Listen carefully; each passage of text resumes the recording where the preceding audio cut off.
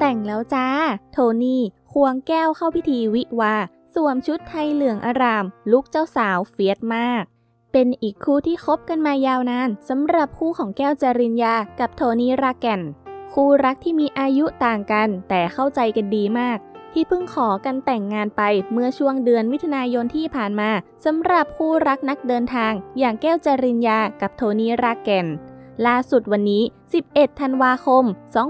2563 ทั้งคู่ได้เลิศดีเข้าพิธีวิวาแบบ New Normal โดยเชิญเฉพาะแขกผู้ใหญ่และเพื่อนสนิทเท่านั้น ซึ่งงานแต่งของทั้งคู่จะมีให้รับชมผ่านไลฟ์สดเพื่อป้องกันการแพร่ระบาดของเชื้อไวรัสโควิด -19 โดยแก้วและโทนี่มาในชุดไทยสีเหลืองอารามตา ในช่วงเช้า พิธีจะเป็นการสวมแหวนแบบไทย และต้องบอกว่าลุคเจ้าสาวในวันนี้ สวยเฟียสมากจริง ๆ ค่ะ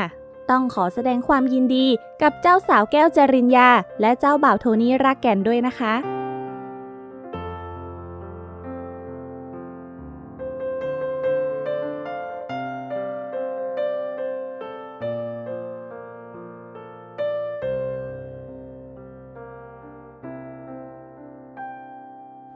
อย่าลืมกดติดตามและกดกระดิ่ง เพื่อจะได้ไม่พลาดคลิปใหม่ๆกันด้วยนะคะ ขอบคุณค่ะ